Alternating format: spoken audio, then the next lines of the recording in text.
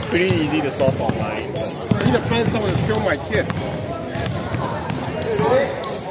Film all the greatest highlights.